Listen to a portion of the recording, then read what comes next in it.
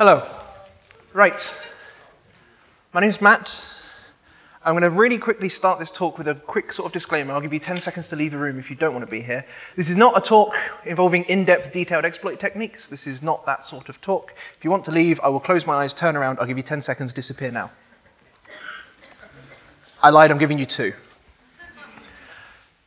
Hello, my name's Matt. I'm a developer at a cybersecurity company. We build tools and platforms to train new generations of cybersecurity professionals. I'm a mentor and a mentee. I like learning from and teaching those around me. It helps me be better, it helps them be better, it helps everyone in the long run. I'm a tinkerer, be that code, new classes in Dungeons and Dragons, ways to monitor my lizard, that sort of thing. I just like playing around with things. So we'll get started with kind of the first question of this talk. Who are hackers?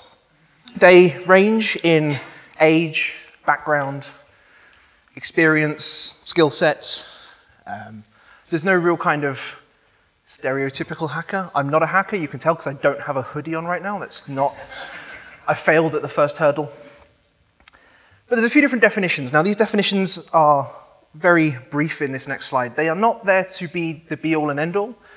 They're just there as a kind of overall, here's the sort of people we might be dealing with. These things are talks in and of themselves. We have black hat hackers. They are hackers doing evil. White hat, hacker doing good. Grey hat, hacker hacking. Top hat, hacker doing fancy stuff. Fog hat, hacker doing funky stuff. Um, that's actually a slide that was a tweet that I saw literally a few days ago, before, like the day before I went to a conference, and I had to put it in because it made me chuckle on a plane.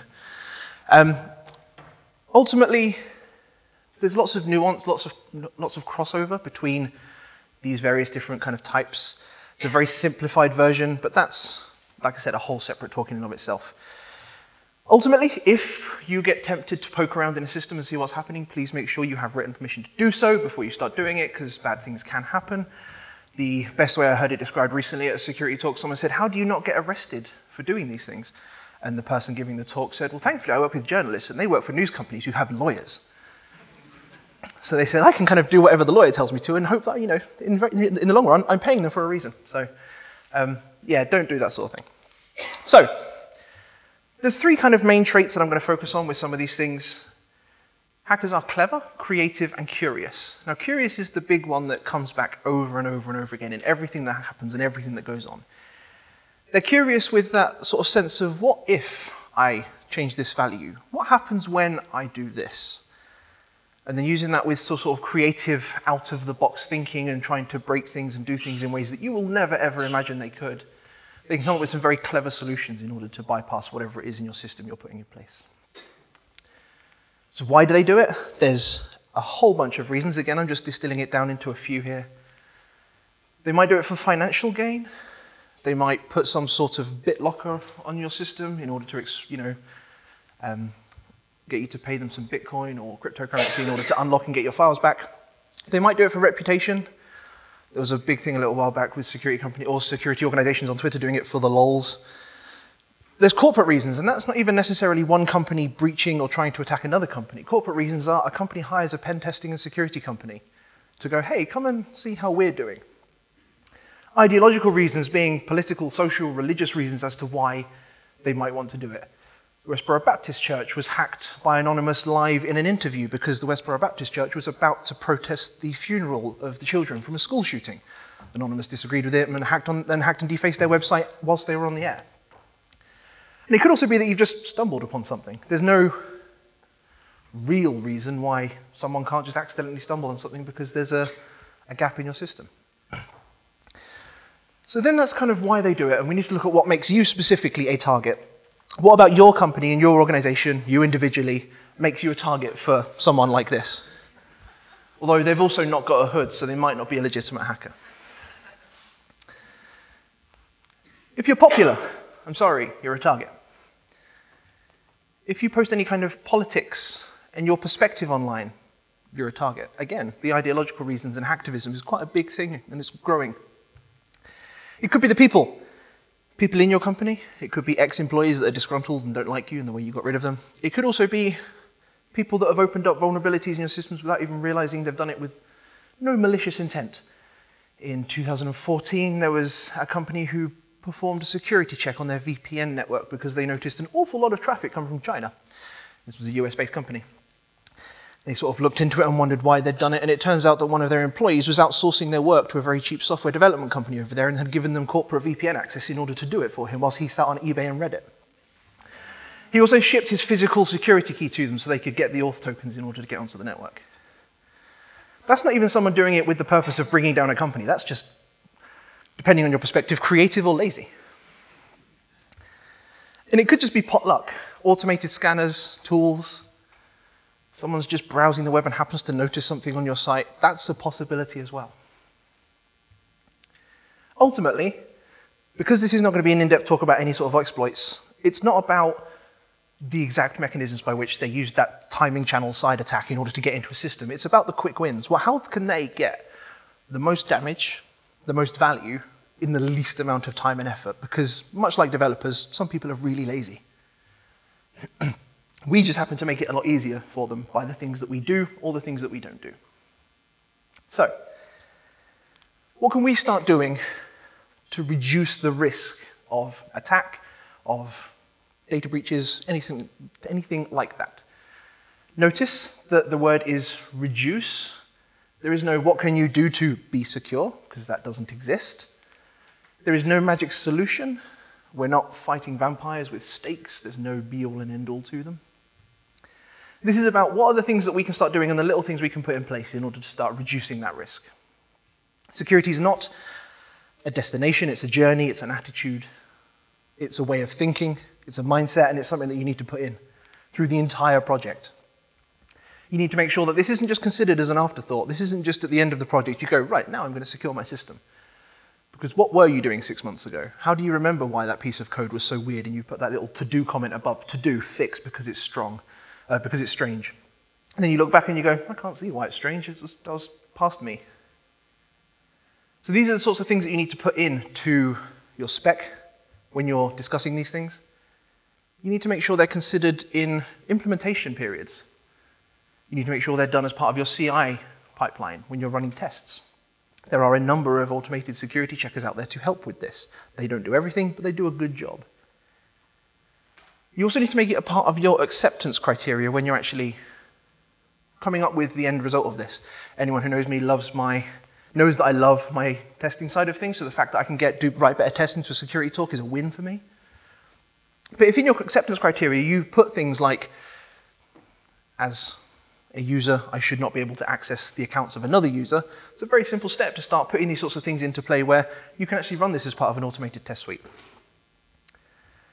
The problem with it all is that ultimately the reason we have to do it through the entire project is that no one has the time or money until it's too late.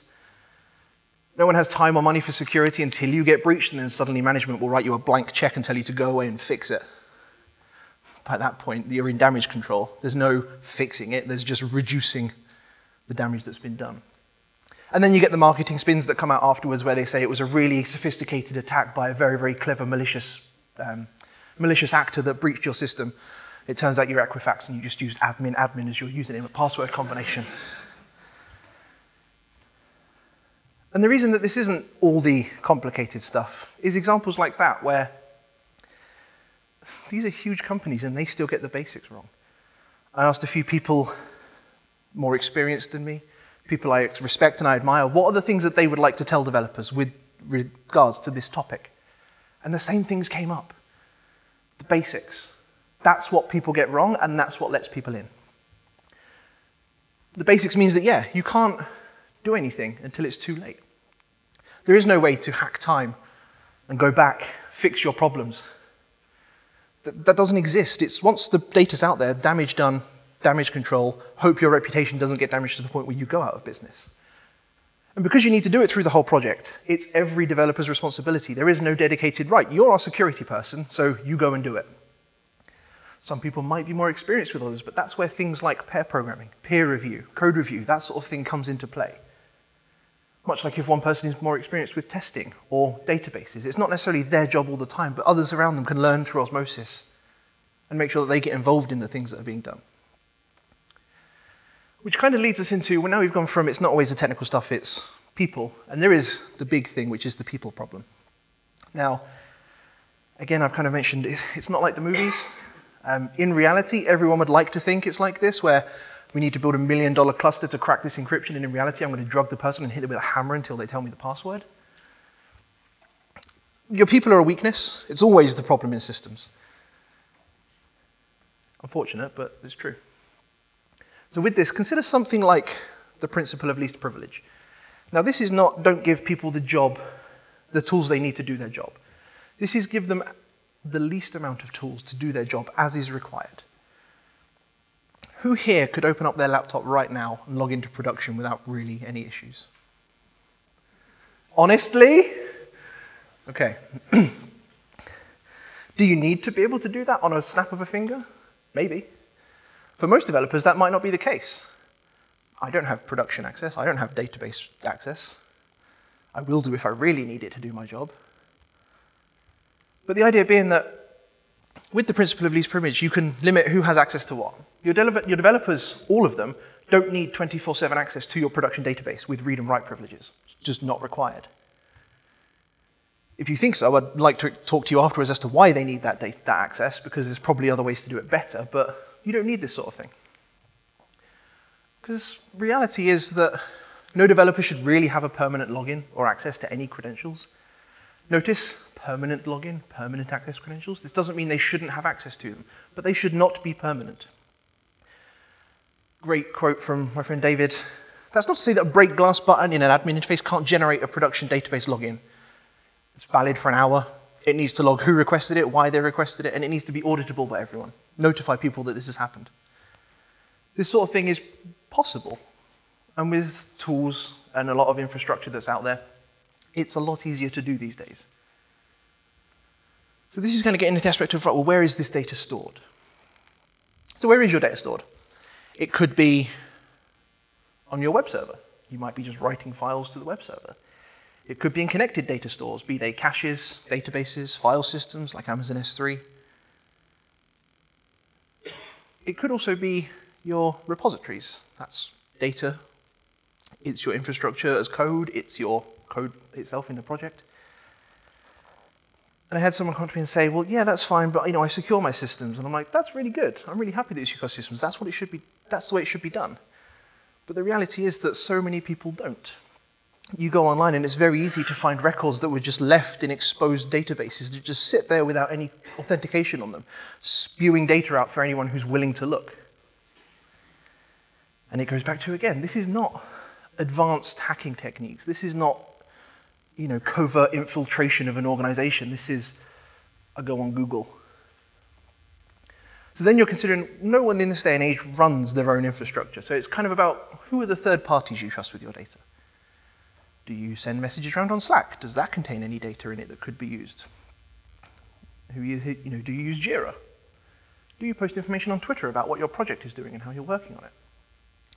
So that's your data. But then we get into the side of things with your customer data, and that's where you know things like GDPR come in, where it says, hey, you shouldn't be doing things that you don't need to be doing. And everyone hides behind the idea that, well, I can post it as a legitimate business use case and do whatever I want with the data because it's legitimate use, be that use, exploit people.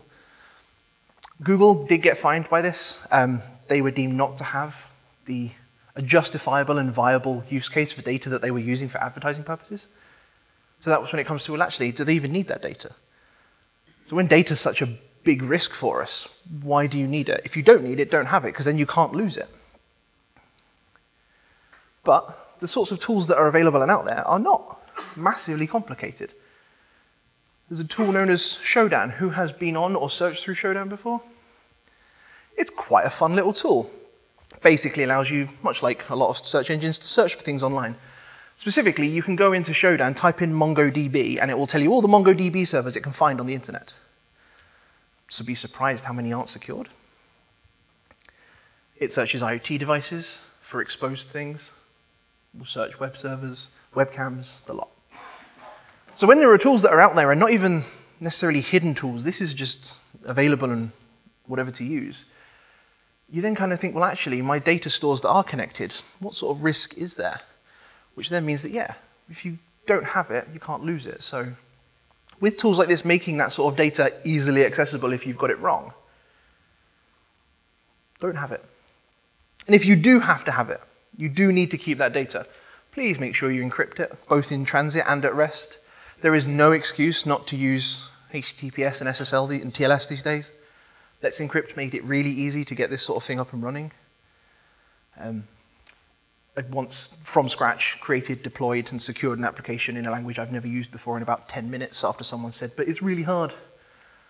Um, it can be difficult. But hiding behind the excuse of it's hard doesn't hold up when things go wrong. If it was easy, we wouldn't be doing this job. Or we want to make it easier, shall I say. But So we've got these kind of external connected data stores, and we have things like our repositories that hold data. Repositories alone aren't necessarily all that's needed to run an application. You've got a lot of secrets. You might be talking to Stripe with an API key to take payments. You probably have secrets in there for your database in order to know how to talk to and authenticate to it. You need to also check your repos for these secrets because these sorts of things are public. There was a really big thing a while back where GitHub actually just straight turned up their search facility on the website when someone discovered that you could search for the uh, leading characters of an RSA private key and see all the repositories that had them in the, in the source. They then turned it back on a little bit later without any fix, so we kind of wondered why they had turned it off. Was it just sheer panic? Probably. But again, this is people that have actually just committed these things and put them in the repository. But there are tools to help with this. This isn't a, you know, a hopeless, oh, but what if I get it wrong?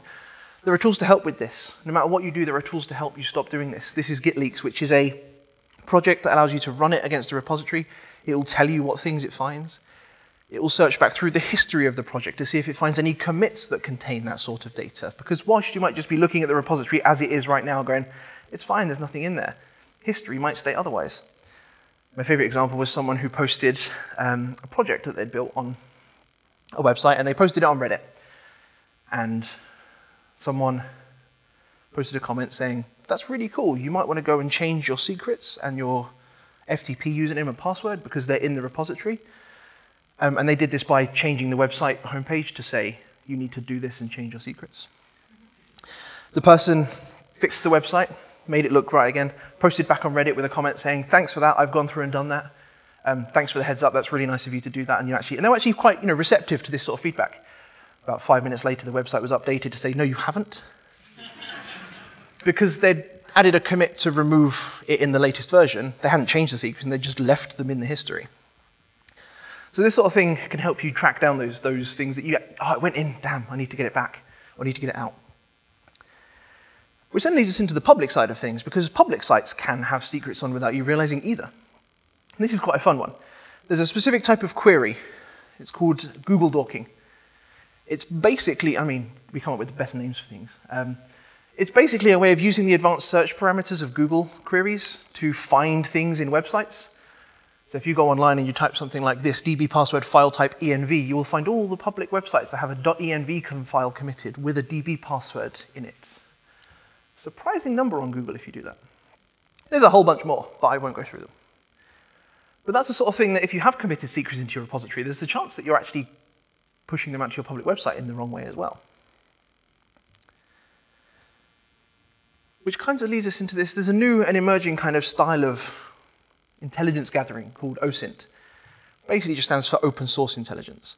And this isn't poking things that aren't public. This is looking at things that are explicitly public and are out there and freely given information in order to build up a profile on someone. There's a website, the OSINT framework, and it's really cool just how many ways there are to find information about someone. You can click through, and if you want a username, you click the username section. It will go, okay, what sort of things do you want? This one. And then it will tell you, here's all the websites you can go to to see if a username exists within a given service. And before you know it, you've built up an entire profile of someone without really knowing much about them. And this kind of feeds that level of what if? I'm curious about this person, this organization. What can I find about, out about them? It's not even necessarily that they're trying to hide it, they could be posting freely public things. Again, going back to the kind of, it's not like the hacking movies. In the hacking movies, they're going, you know, clone the badge and insert a new picture in and whatnot. It can happen because people do start a new job at a company and then post on Instagram, starting my new job. Here's my ID badge with the barcode and the picture and my name and the company and the color of the lanyard. But that what if, what if I did this? Where could I get with that? That's kind of the thing that underpins everything.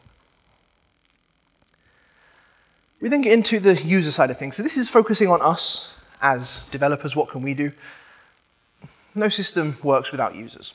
Now we've all heard before, you know, don't trust user input. Users will not necessarily try and break things. They might just try and register a username with an emoji in and then suddenly your system doesn't work. They might try going into your shopping cart and changing the quantity to minus one and see if you'll pay them instead. These are the sorts of things that you shouldn't be trusting. You should be doing these kinds of logic and validation tests, but these are the sorts of things that a malicious attacker is looking at your site saying, okay, well, what, what about these inputs? These are just vulnerabilities and ways into your application. What can I do with them? And it's not even, like I say, necessarily malicious things going on with this. I received an email from a recruiter last year, from a recruiter I'd used in the past. Perfectly good relationship with them, they were lovely people. I just wasn't looking at the time. So I looked, and there was no unsubscribe link on their email, which was naughty. But I sent them a message on their website using their contact form.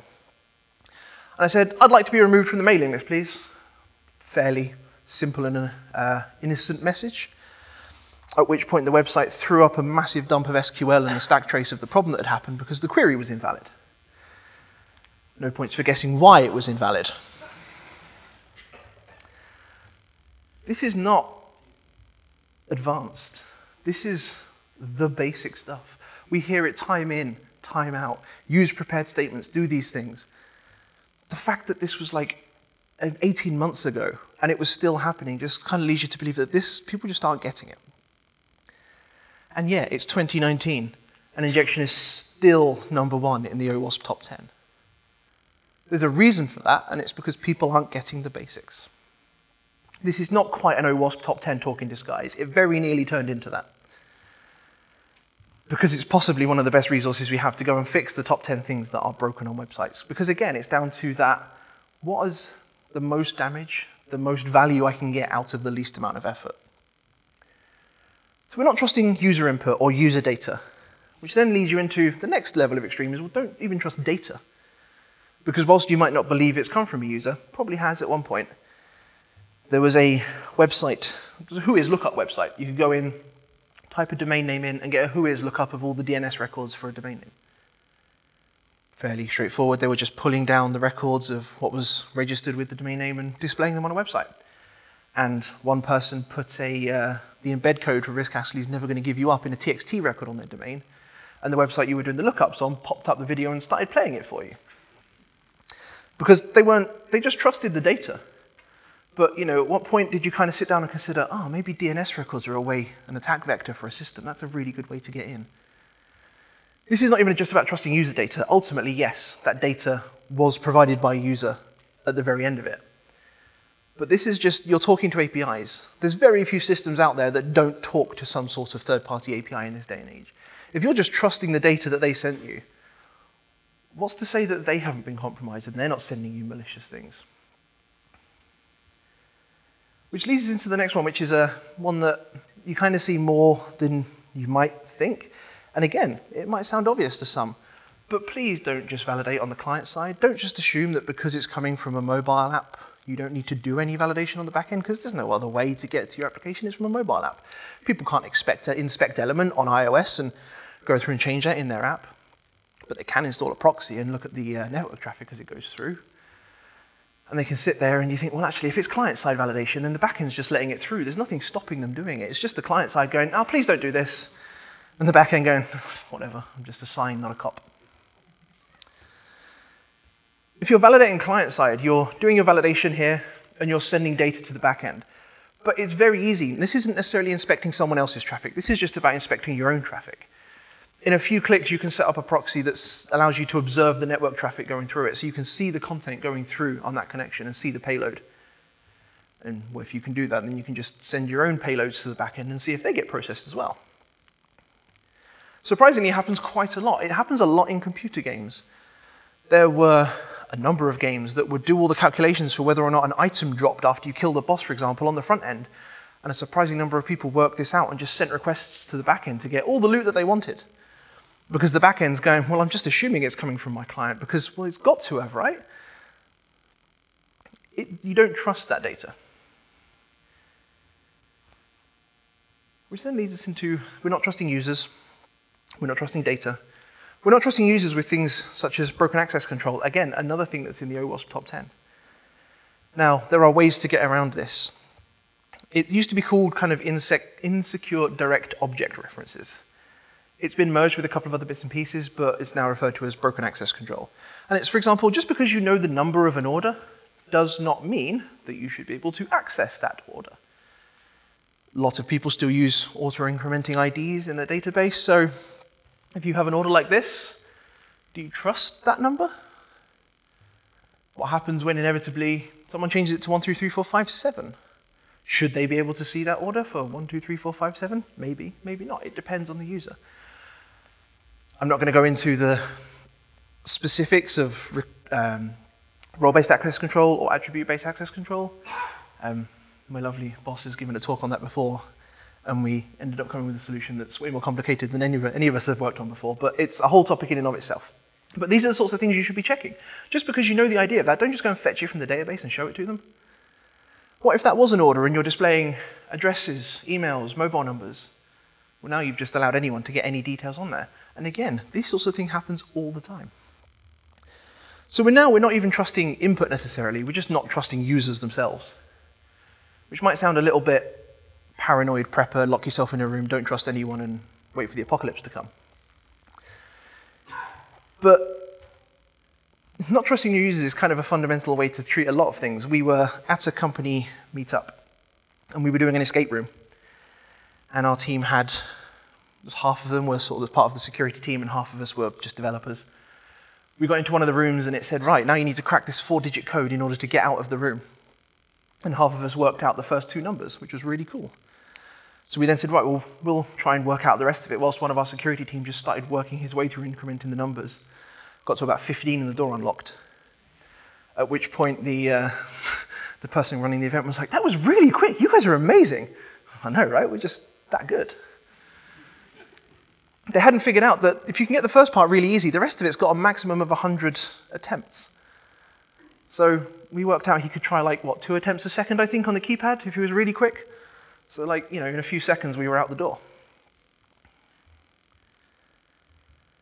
The next one's kind of, again, in the OWASP top 10, but it's one of the big ones that's becoming more and more problematic, but has been based on things that have existed on the internet for a long time. Broken authentication, kind of one of the earliest instances of broken authentication I experienced was when I built a nice little website. You could log in, it was great sets a little cookie in your browser to say what user you are. And then one of my friends realized that he could change it to user ID equals one and log in as the admin. Because I hadn't checked that sort of thing. This was back when sessions weren't as common as they are now. But again, broken authentication is still a thing in this day and age. So to say something like hash passwords properly is not the end of the story. It's a thing you should be doing, but it's not necessarily what an attacker's doing, because they're not looking at, well, if I can break your database, I can get and get your password hashes. Cool, but if I'm using bcrypt or Argon, you're going to be there for hundreds of years trying to break them. Until quantum computing comes a thing and everything falls apart, but that's a bigger problem for the internet. But it goes down to things like, don't use default passwords again. Equifax were reportedly using admin admin as their password, and that's what caused the big uh, data breach that they had a couple of years back. And the really bad part is you don't reuse passwords. There was a really interesting study run by LastPass last year, along with LogMeIn and Lab42. And they surveyed 2,000 people, which isn't a huge sample size, but it's enough to start drawing some numbers. And they found that 60% of those 2,000 people were reusing passwords. And of those, over 60% were reusing passwords for both their personal and their work accounts. 80% of them had up to 20 accounts online. So suddenly that's actually quite a wide range of websites that potentially have the same password for users that will get you into not only their personal Facebook, but their work email, for example. So it's not even about your site getting breached. It's you might be doing the best things you can. You're storing passwords using bcrypt with high costs, so they can't be cracked. But if myawesomedogs.com has been using has been hashing them with MD5 with no salt for the last 10 years because that's what it used to be, and a user's got an account on your site, there's probably a high chance they're reusing the password because users are lazy like that. People might have heard of the website haveibeenpwned.com. If you haven't, go to this website, type in your email address, hit enter, and it will tell you all the data breaches that are on the site that your email address has been found in. I mean, quite a lot, which sucks, but there's nothing I can do about that. Websites on the internet get breached. The good thing is I've got unique passwords on my accounts, so it's not as bad of a problem as it could be. So we need to start looking at not allowing our users to reuse passwords either, because credential stuffing, which is what the attack is known as, I'm going to go and find a breach where your password was listed on that. I'm just going to start trying it on all the other sites that I know you're on. I'm just going to stuff your credentials into as many websites as I can, see what I can get access to. There are ways to stop this sort of thing. Passwords are not unique for a lot of people. So you end up with things like this. Anyone know what that is a hash of? Or what hashing algorithm was used? We can search for it in Google. It's not as fast. You know, I mean, people think, oh, well, I'll go use Hashcat or John the Ripper to go and start cracking my way through passwords. Just Google it. Because a lot of people are just using password. And it's, you know, there's a lot of results for that that come up on Google. It's not a difficult thing. So this is not advanced stuff to go and start cracking passwords with, you know, lines and lines of text scrolling past your face like in the movies. So we don't want to allow users to use these sorts of passwords. There's an API for that. It's the Pwned Passwords API, provided as part of Have I Been Pwned. You can send the first five characters, I think it is, of the hash of a password off to the site. It will return a list of all the passwords that match that first part of the hash, along with the number of times those passwords have been seen in breaches. If you see that password on that list, don't let the user use it because that password they're using is vulnerable because it's out there on the internet somewhere because it got leaked on some website. There are many packages in many languages to just automatically integrate with this, much like an SDK. You don't have to worry about calling the API yourself necessarily. And then you can do things like, well, if you start using multi-factor authentication, that means that if they do get their password leaked, it's not necessarily as bad because people can't necessarily get straight into their account because you're using an additional factor. A username and a password is a single factor of authentication. They are both just things that you know. Who here has never used two-factor authentication before? Awesome. I asked that the other day, and someone, like a bunch of people put their hands up, and I went, have you used chip and pin? Because that's something you know, which is your PIN number, and something you have, which is your card. Without even realizing it, you're using multi-factor authentication. There's a third factor, which is not starting to come in, which is something you are. So behavioral stuff, biometrics, fingerprints, um, eye scanning, that kind of thing, facial recognition. So you can do these sorts of things where you start asking for an additional code to log someone into their account. A lot of people are using SMS for this, but please don't. It's very easy to convince a phone company to change this, the phone number on a SIM over because you've got access to someone's account and said, oh, I changed my, my credit card recently. If I give you the last four numbers, can you just verify that that's me? And people are very trusting because customer support people are taught to help people as much as possible, not consider the security implications of what they're doing. Again, social engineering side of things, the people are the problem. So now we're getting into what can we do in terms of code to start putting these sorts of things in place. Who here builds applications with no external dependencies on projects? It's not the world we live in. It used to be, you just write it all yourself. Now it's just really easy to such and such install this package and you've got a database layer you can use. So which packages do you trust in your application? GitHub done a really cool thing recently where they start checking these packages automatically for security vulnerabilities that they might find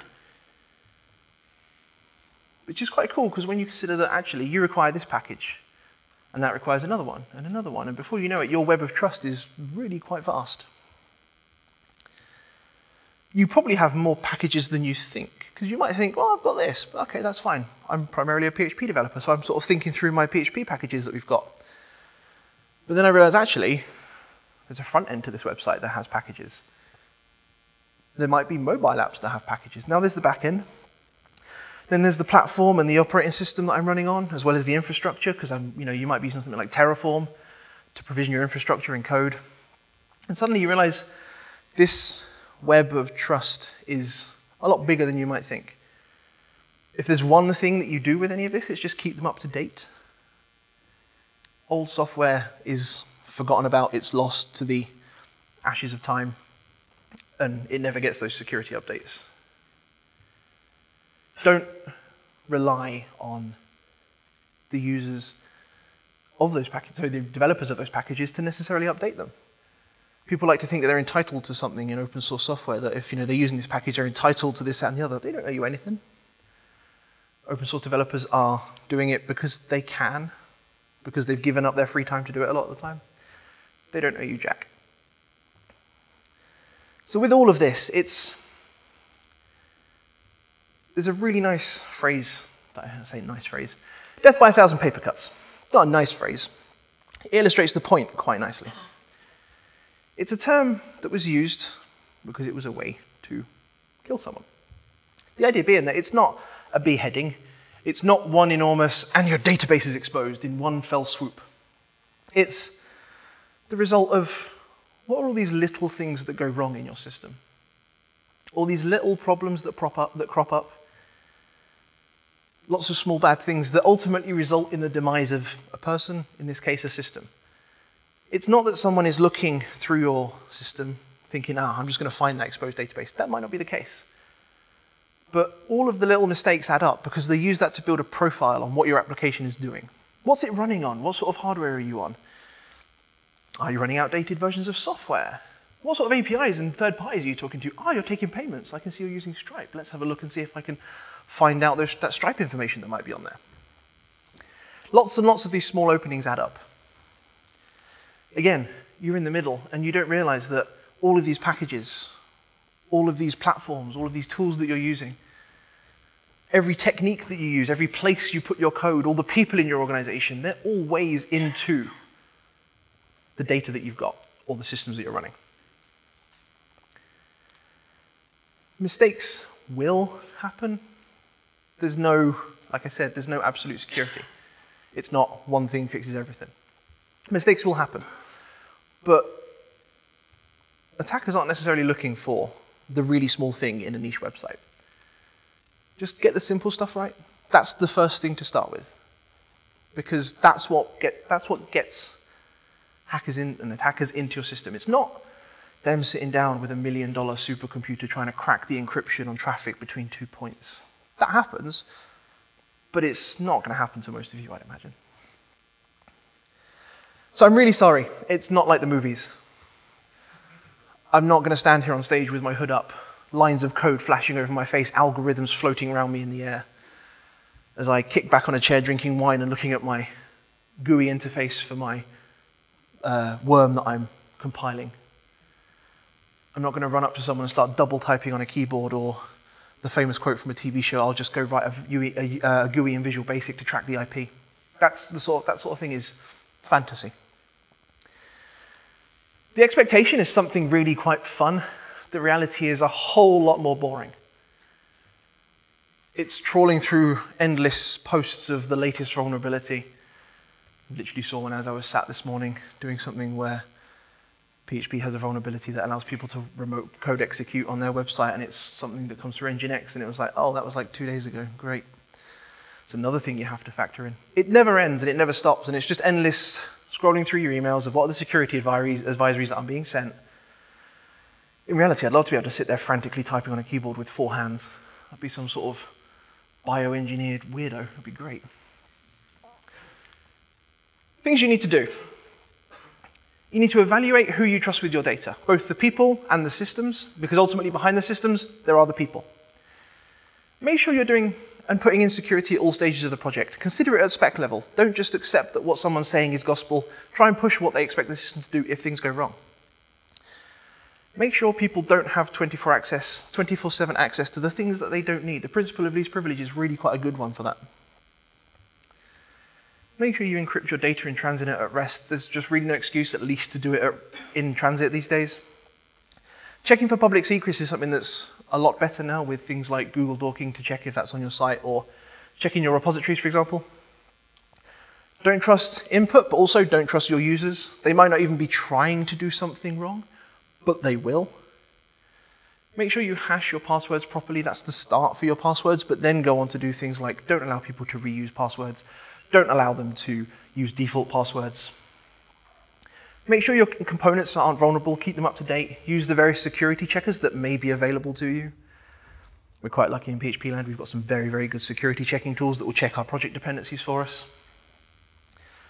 And the OWASP top 10, like I said, this nearly turned into an OWASP top 10 talk in disguise. Um, but it's a really good resource, and it really is a frustrating thing to see the new report come out every what, four years or whatever it is, and the things haven't changed.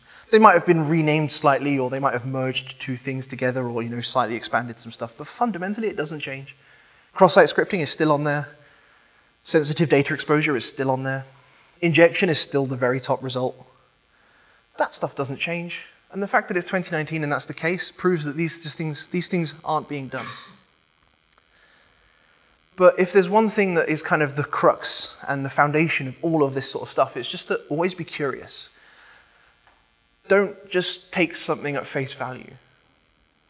Take that kind of playful nature that a lot of developers do have, and I hope that we all have, because it kind of you kind of look at something and you go, yeah, but what if I did this? It's that nature to use something in the way that it shouldn't be done, that kids do, quite frankly that allows you to have that additional mindset of how you might get into a system and therefore how you might better protect it. Thank you very much.